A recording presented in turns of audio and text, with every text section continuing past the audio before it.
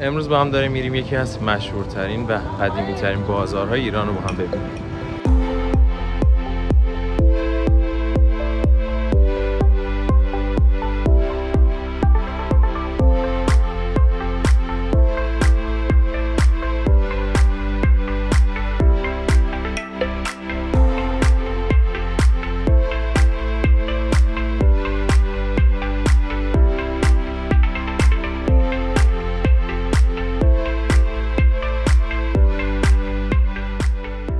سلام دوستان چطورید؟ امیدوارم حالتون خوب باشه. خوش اومدین به این ویدیو دیگه با من. امروز توی ویدیو قرار با هم بریم بازار وکیل رو ببینیم. بازاری که به دستور کریم خان زند ساخته میشه توی سال 1137 این بازار توی دوران زندی مرکز اصلی تجارت و داد و ستد موقع بوده. حالا با هم بریم نزدیکتر به بازار برسیم و توضیحاتش رو بهتون بدم. بازار وکیل در حال حاضر از دو بخش بازار وکیل جنوبی و بازار وکیل شمالی تشکیل میشه. ولی زمانی که این بازار ساخته میشه این بازار یه تیکه بوده. حدود 80 90 سال پیش موقعی که می‌خواستن این خیابون رو بکشن مجبور میشن بازار رو به دو قسمت تقسیم کنن بازار شمالی و جنوبی. و همینطور یه سری از حجرهایی که این وسط بوده از بین میره. حالا با هم بریم بازار وکیل جنوبی رو ببینیم. اول توی بعد به ورود به بازار جنوبی به چهارسوق می‌رسیم. که تقاطع راسته اصلی و یه سری راسته فرعی است. راستای فرعی با توجه به سنفی که توی اونا تجارت می‌کرده اسمشون متفاوته. این راسته که مثلا الان می‌بینین راسته علاقه بندها هست که بیشتر فرش، گلیم، تابلو فرش و چیزایی از این قبیل اینجا هست. یه راسته دیگه هم اینجا هست. که بهش راسته سراج ها میگن. اونم الان محل فروش فرش و از همین چیز هست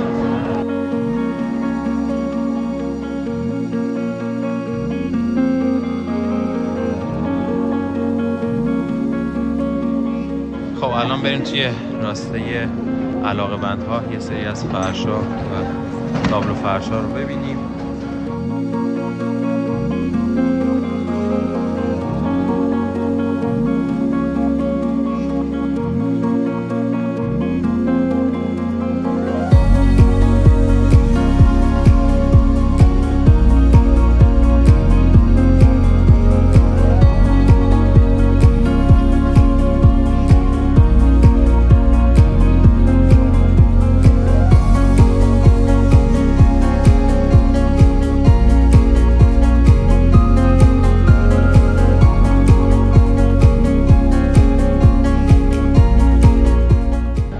اصری پر از مغازه های فروش پارچه، لباس، پرده و همینطور پر از عطاریه.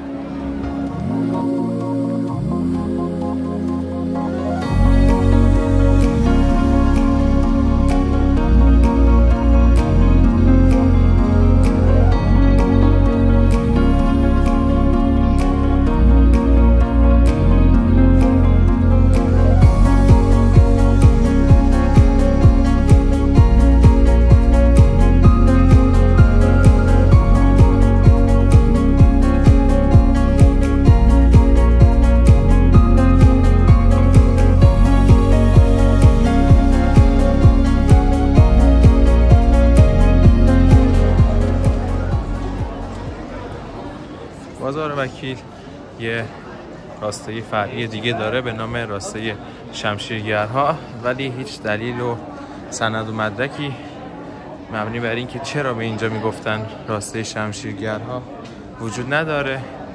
انتهای این راستم میره به یکی از درهای خروجی بازار می‌رسه. وسط های این بازار هم یه سرا هست به نام سرای فیل. البته تلفظش اشتباهه. الان بعدا میریم داخل بهتون میگم جریان چیه. الان بریم بیرون هم بهتون نشون بدم. دقیقا این در به کجا می‌خوره؟ این در دقیقا کنار مسجد وکیل و حمام وکیل باز میشه و همینطور یه قسمت فضاسازی زیبا هم اینجا کردن و پر از کافاییه که مردم می‌تونن استفاده کنن.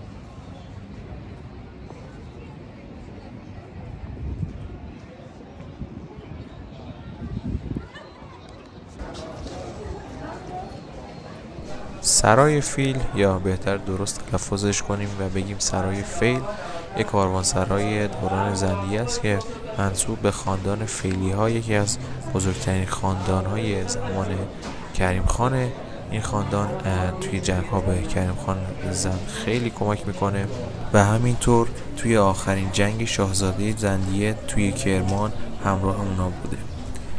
حیات این کاروانسرا به شکل مربع است و یه حوز وسط این کاروانسرا قرار داره. و دور تا دور این حیات هم حجره وجود داره که قبلا اونها رو به عنوان اتاق به مسافران می‌دادن.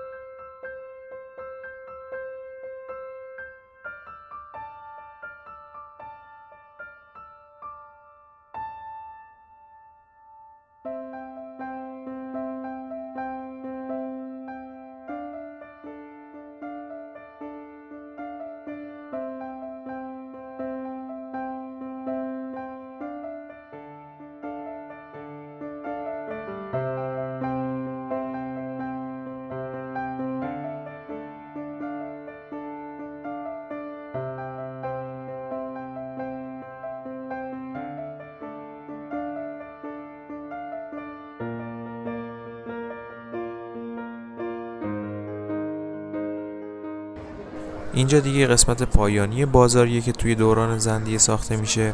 از الان به بعدم میریم با هم سرای مشیر و قسمت های جدیدی که توی سالهای بعد از زندیه به بازار اضافه میشه رو با هم ببینیم.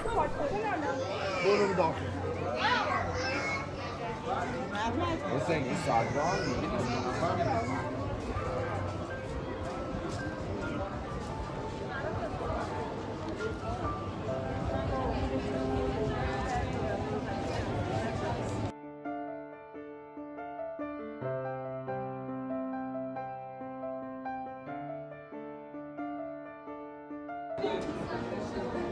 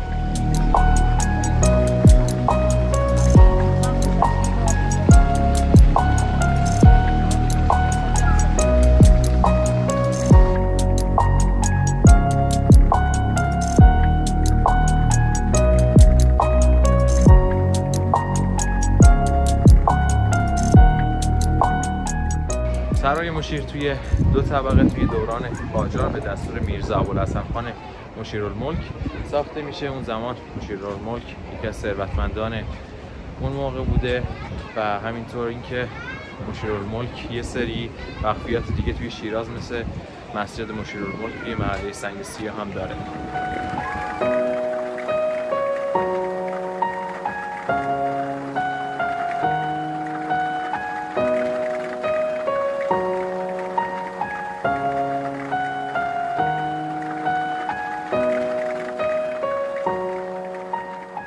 قسمت جنوب شرقی سرای مشیر هم بریم بیرون و بریم به سمت بازار مشیر که یک بازار جدید هست و اونجا رو ببینیم.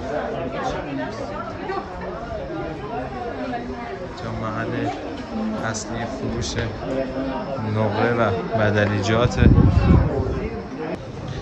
بعد از خروج از سرای مشیر می‌رسیم به یه چهار سوق دیگه.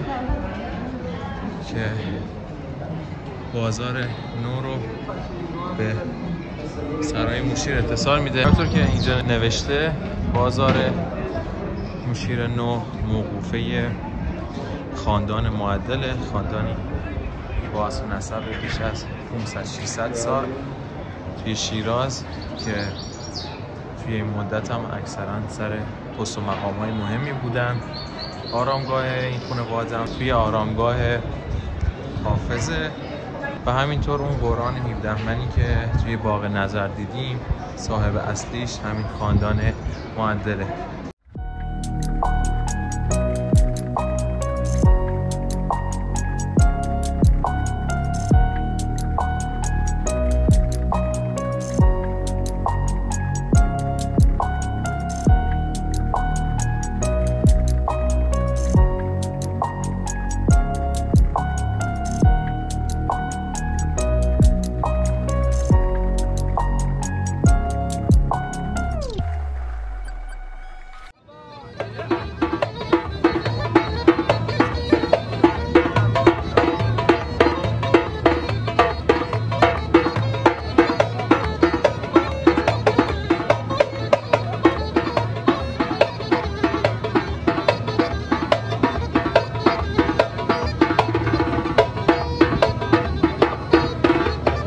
بازار وکیل جنوبی رو دیدیم با هم. دیدید که چقدر شلوغ بود. تا آخر آخرش که نتونستم برم خیلی ازدحام جمعیت بود. ولی نسبتا کامل بهتون اونجا نشون دادم. حالا بریم با هم بازار وکیل شمالی رو ببینیم. توی بازار شمالی دیگه تقریبا همه چی میفروشن. و مثل بازار جنوبی نیست که سرای مختلفی داشته باشه و تو هر کدوم از این سراها یه سنف خاص فعالیت داشته باشه.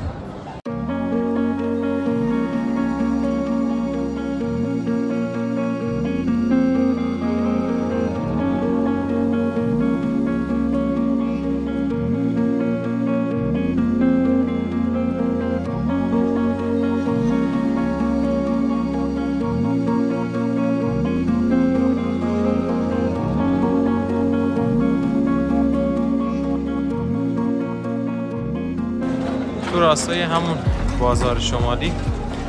یه بازار هست به نام بازار نو که ادامه همون بازار شمالیه و توی دوران قاجار ساخته میشه این بازار. خب اینجام دیگه انتهای بازاره که می‌رسه به دروازه اصفهان. خب دوستان ممنونم که تا اینجا ویدیو همراه بودید. امیدوارم از دیدن ویدیو لذت برده باشید. اگه واسه دونم مقبول بود واسه یه دوستاتون بفرستید حمایت کنید. هر خودتون می‌دونید و تا ویدیو بعدی هم خدا نگهدار.